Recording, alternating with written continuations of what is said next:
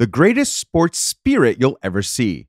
Meet Pedro and Miguel Ferreira Pinto, the two brothers that defied all odds. Pedro has cerebral palsy, but that didn't stop the pair from starting Project Iron Brothers when Pedro found out about the Ironman race, an event held throughout the year in several countries where you have a 2.4 mile swim, 112 mile bike ride, and a 26.2 mile run. The brothers wanted to spread awareness about cerebral palsy, helping out others facing similar challenges, and raise money for the Association of Cerebral Palsy of Lisbon to get important things like buses, wheelchairs, and hygiene cranes for families who need them. In Brazil 2023, they made it across the finish line, proving that what matters most is determination.